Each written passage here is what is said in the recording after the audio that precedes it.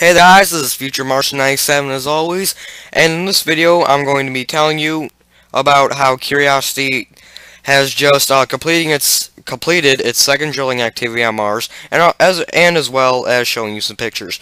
Now in this little slideshow that I'll be playing, um, you're seeing um the drill holes that Curiosity had um recently taken from the MAHLI hand lens imager, the camera that's on Curiosity's hand. Um Today it drilled, or well, uh, yesterday actually I think is when it drilled, but send back pictures today. But anyway, yeah, these are just some of the pictures, and um, they'll be delivering the sample to the rover in hopefully a couple days. Right now they should be shaking the sample in the hand to get it into the scoop, and they'll probably probably be taking a picture of it like they did with the first one. Then they'll put it in the um, instrument to deliver to the rover, and then they'll analyze it and see yeah, stuff like that, sciencey stuff whatever. But um, yeah, these are just some of the pictures that were taken of the drill hole.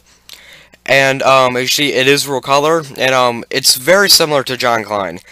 As you can see, um, you know, it's got like the whitish gray, whatever you want to call it, um, tailings or whatever, inside the rock. So that's real, real rock color. You know, it is bedrock just like John Klein. It's nine feet away from John Klein, and the only reason they actually drilled here was because well, they wanted to make sure they got what they got from John Klein.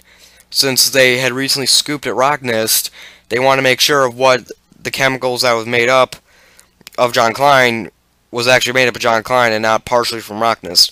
So they're actually going to be. That's the only reason they're really drilling at that spot is to just confirm the stuff they got from John Klein. So anyway, uh, that's basically it for this video. Uh, hit that like button, subscribe to my channel, and as always, this is Future Martian 97 signing off.